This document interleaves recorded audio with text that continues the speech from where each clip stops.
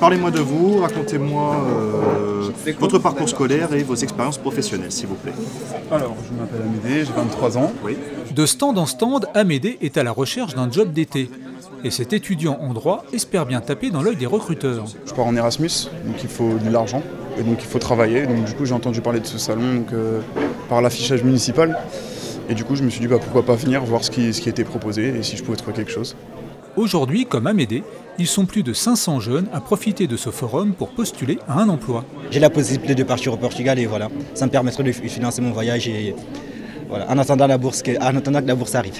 Je vais euh, commencer à me mettre dans la vie active et, euh, et j'espère que ce salon pourra m'aider à, à trouver un travail sur le, sur le long terme.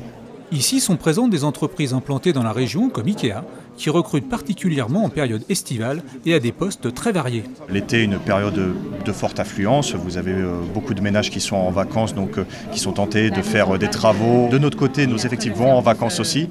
Donc on a besoin de les remplacer pour continuer à assurer une, présence face à nos clients qui soit optimum tout au long de l'année. On couvre énormément de, métiers, que ce soit de la restauration, de la logistique et jusqu'à la vente. Donc on est très très euh, ouvert à la diversité euh, des profils chez nous.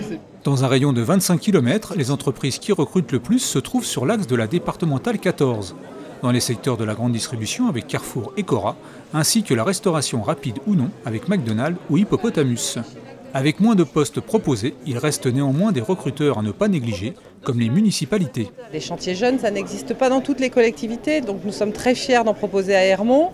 Ces chantiers jeunes, ils répondent aussi à une demande, c'est une quinzaine de jours pour des jeunes euh, qui peuvent eh bien, travailler dans des services tels que les services administratifs de la ville ou encore euh, avec les services techniques, par exemple dans les espaces verts de la ville. Pour ceux qui auraient manqué cette session, la municipalité d'Hermont encourage à se rapprocher de la mission locale de Montmorency.